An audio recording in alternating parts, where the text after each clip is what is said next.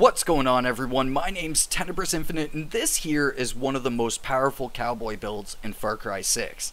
This started out as a joke idea, but it's surprisingly fun and incredibly multi-purpose, balancing a great amount of stealth and combat benefits that synergize really well, like steady hands and auto-locking throwables, a 2 times benefit to damage on most of your guns, and the Triada and La Varita as the Resolver and Supremo Wombo combo.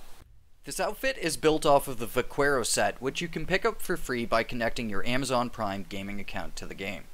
Then, the chest piece is from the Jungle Expedition set. And lastly, the Dark Tech gloves are from the base game. For our loadout, we're using El Caballero Blanco, the revolver that you get with the pack. The main thing is, is the mods that we have attached though. We have the uh, soft target rounds, we have the gut wrencher, as well as the trigger discipline, just to kind of try to improve the damage as much as possible for our revolver. Outside of that, we're also using the 308 carbine with armor piercing rounds and a headshot mod that rewards us with bonus Supremo charge for every headshot.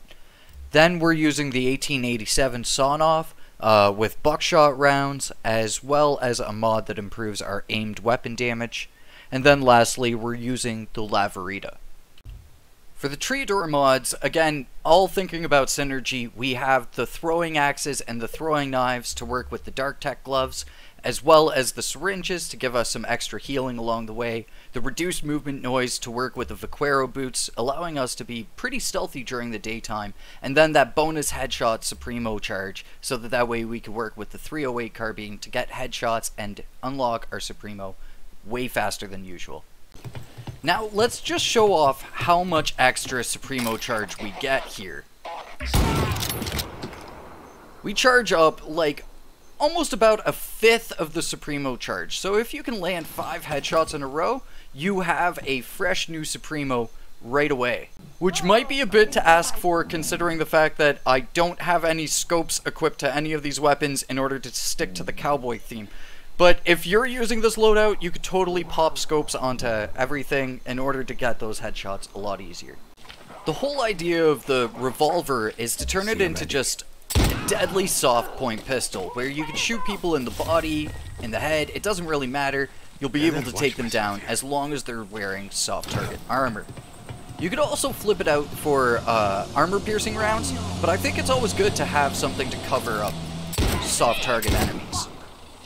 Now, you do suffer worse damage when you aren't aiming down sights, because you don't get that two times uh, damage boost. But still, as long as you're aiming down sights, you can put down most enemies with this revolver. Then you can use the 1887 to kind of float in between both the 308 and the revolver. It's just got generally good stopping power and killing power, it takes a couple shots sometimes because it's not the strongest of the shotguns, but it aesthetically matches the whole Wild West theme. And that's what matters. And then lastly, we got the La Varita, because we got the La Varita. Actually, a little bit more thought went into it though. So if we take a look at the rifle that we get with the Vaquero pack, we can see that not only is it the exact same rifle as the Varita, but it's actually outclassed by the Varita in terms of its uh, damage, its accuracy, and its handling. Sure, it has higher velocity and stealth, but that doesn't quite beat the synergy of the Varita and the Triada Supremo, where you can headshot enemies through walls without them even knowing that you're there. Basically, the Varita is Julia's last stand, but better. And even without the Supremo activated, the La Varita has more than enough killing power.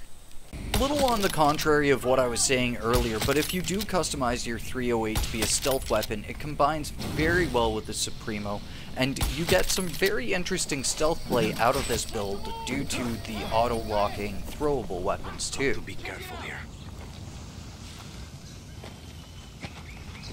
You'll pay for this,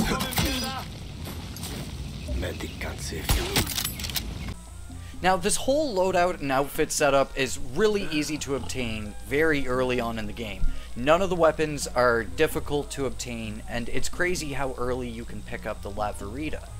The only thing that requires a little bit of grinding for is the mods used on both the Supremo and the weapons, as well as the Dark Tech gloves. Uh, those require you to be at player rank 6 uh, in order to buy them.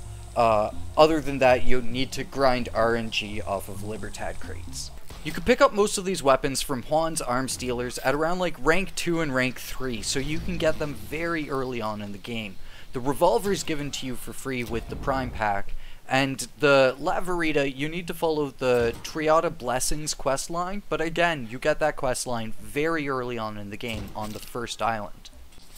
So there we go, my second build video for Far Cry 6. My first one being the maximum mobility build. Check that out in the end cards after the video if you haven't yet. I have tons of other builds planned and a lot of other Far Cry 6 content too, so stay tuned for more if you'd like to. But for now, thank you for watching, and I'll catch y'all in the next one. Until then, peace.